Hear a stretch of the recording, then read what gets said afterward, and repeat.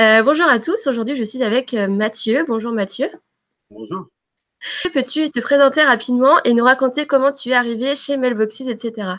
Euh, bonjour, je m'appelle Mathieu Camus, je suis donc franchisé Mailboxes, etc.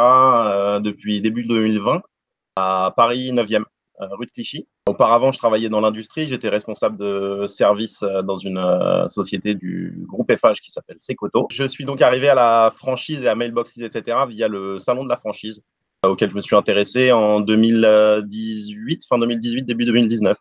Euh, quelle est alors aujourd'hui la force de ton centre et euh, ses activités locales?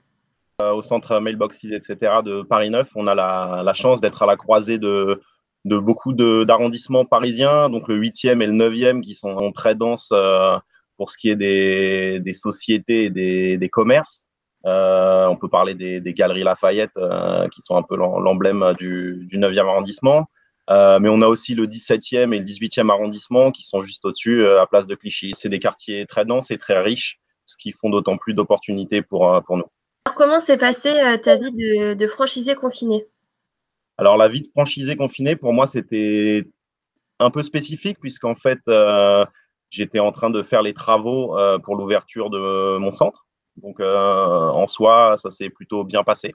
J'étais sur mon chantier euh, au quotidien, euh, en train de faire avancer mon projet. Donc ça s'est très bien passé et euh, on a commencé à travailler pendant le confinement à distance, bien évidemment, avec des demandes entrantes par mail. Donc on a pu qu'on a pu traiter et j'ai fait mes premières expéditions confinées.